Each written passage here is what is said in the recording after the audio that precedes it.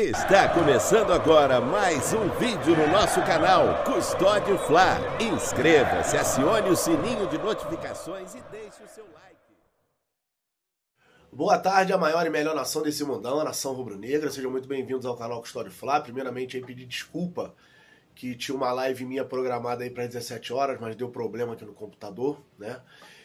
Eu tô gravando esse vídeo para falar sobre a escalação, né, do do Flamengo, né? Flamengo aí com meio campo forte, Vidal, Thiago Maia e Gerson. Né? Eu acho que o Vitor Pereira já tinha que ter feito isso desde o jogo da Supercopa, né? Com meio campo consistente.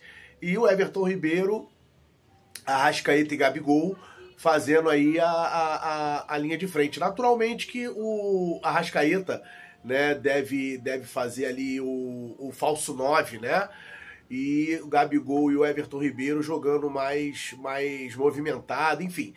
Mas acredito eu que com esse meio-campo consistente, né, com Arrascaeta e Everton Ribeiro deve estar também revezando ali na armação do time, o time do Flamengo fica mais forte, né? Tem um sistema defensivo um pouco mais compacto do que vinha tendo, né? Com esses três homens aí do setor é, é, é, já que o Vidal é um jogador que, que sabe marcar, né? Thiago Maia também sabe marcar. Não temos aí um primeiro volante de ofício que está fazendo muita falta para o Flamengo, mas nós temos esses três jogadores de força no meio-campo, que além é, Vidal e Gerson, além de marcar, eles também participam da criação, junto com a Rascaeta, Everton Ribeiro e Gabigol.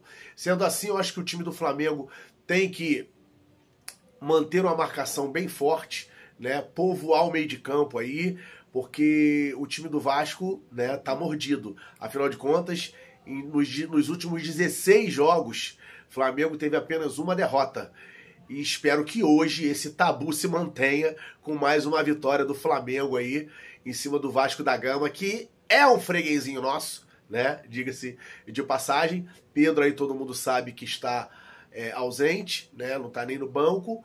E a molecada tendo oportunidade aí no, no segundo tempo para estar tá mostrando aí o seu bom futebol, para manterem o ritmo de jogo, para poder nos ajudar nessa temporada. Eu acho que nesse atual momento o melhor meio-campo que o Flamengo, que o Vitor Pereira pôde escalar é esse: Thiago Maia, Vidal e Gerson. Tá? Espero que o Gerson esteja melhor, né, numa melhor forma. Gerson que não vem bem, eu espero que ele, que ele, que ele consiga desenvolver o seu bom futebol novamente aqui no Flamengo e que o jogo de hoje, de fato, seja um divisor de águas para que o Flamengo deslanche aí na temporada e que o Vitor Pereira possa ter paz né, e apoio do elenco, principalmente, apoio do elenco, né? Lembrando, vocês recebem muito bem, vocês ganham muito bem, então entre em campo com raça. O que a nação rubro-negra quer ver é raça, é vontade. Nós já tivemos times medíocres,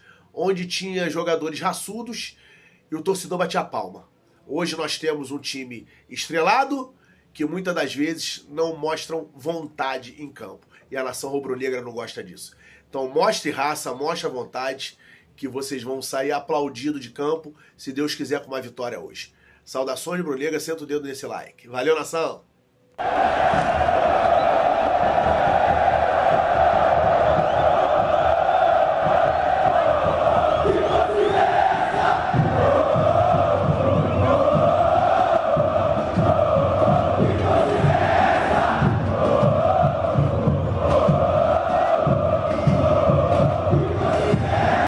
Inscreva-se no canal e ative as notificações.